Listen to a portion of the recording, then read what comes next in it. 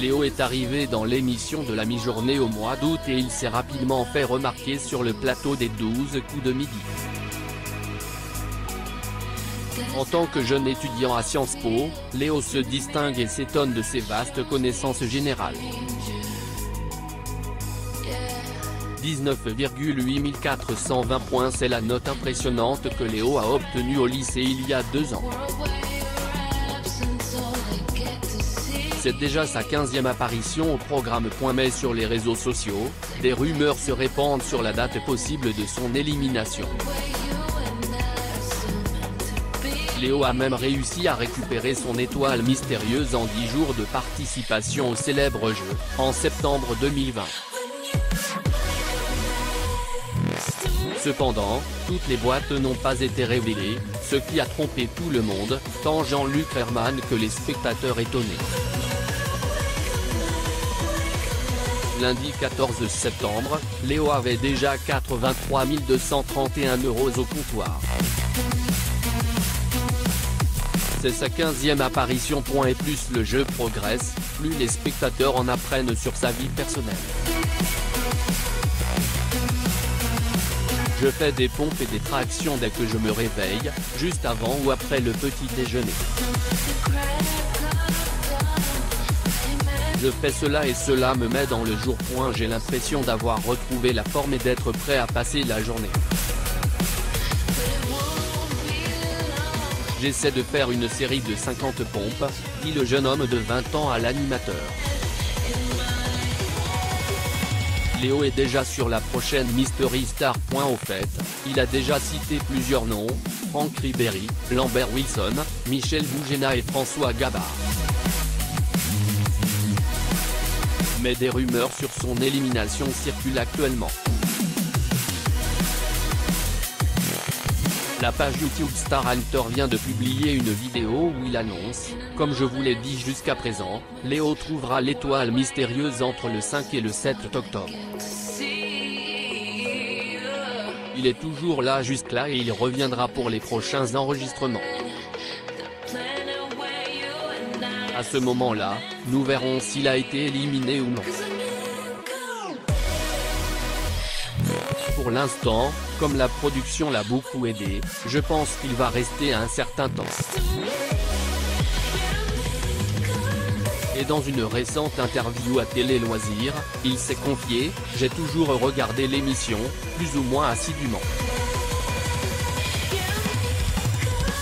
J'étais intéressé par le style du jeu, j'aime les concours de culture générale, mais aussi son côté divertissant.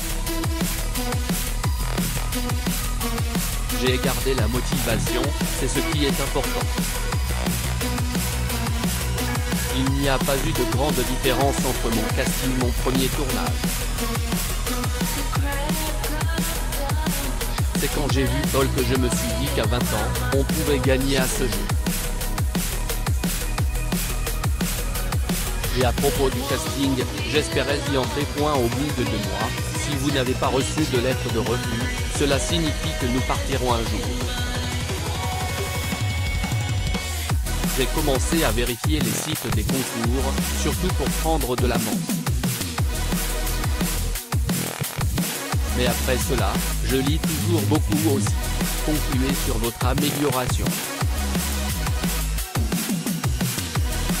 12 coups de midi, qui est Léo, l'actuel maître de midi du jeu de Jean-Luc Herman sur TF1 Non content d'avoir surpris tout le monde en décrochant sa première étoile mystère, qui à l'époque accent aigu.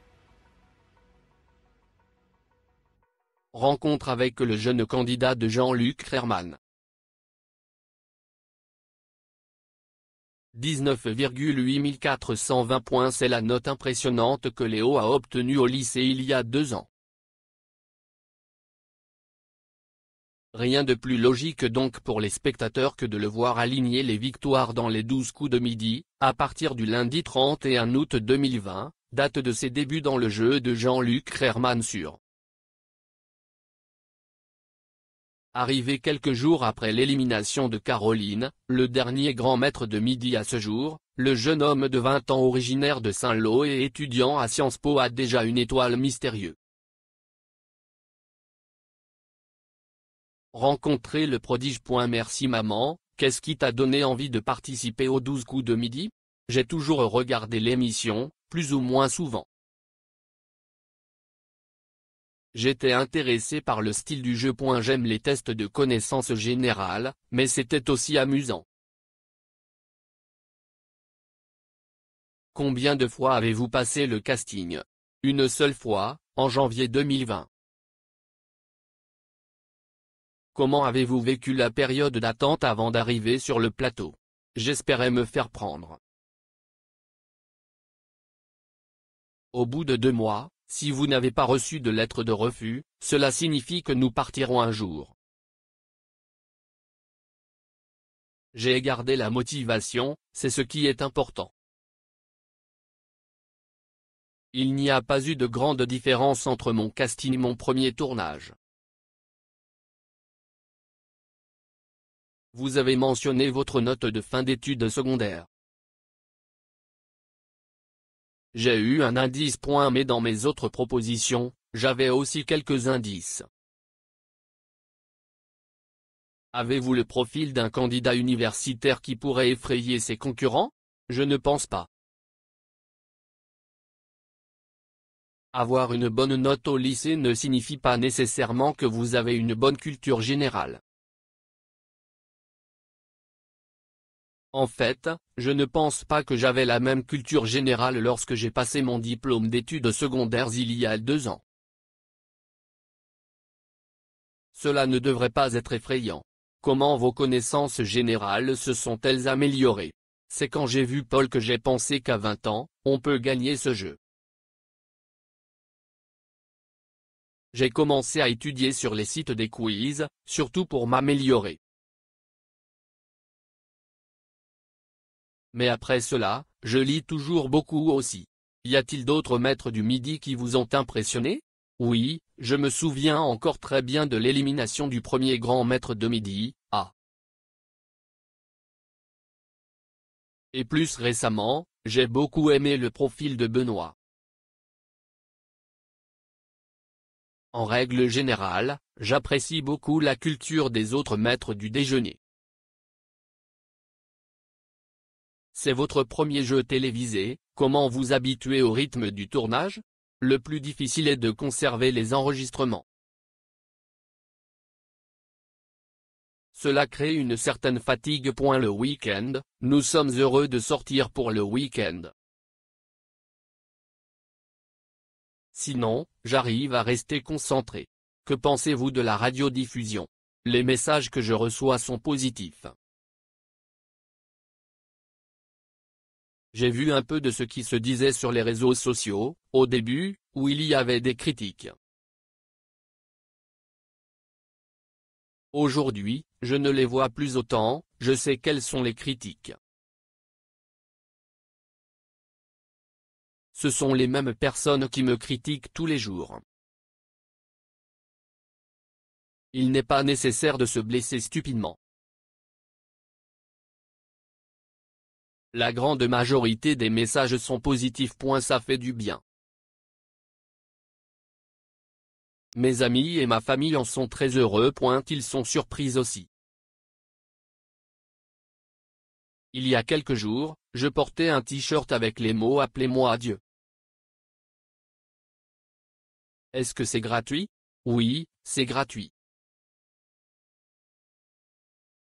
C'est une chemise que j'ai achetée pour plaisanter. C'est de second ordre. C'est mon premier jeu, personne ne s'y attendait. Y a-t-il des critiques constructives?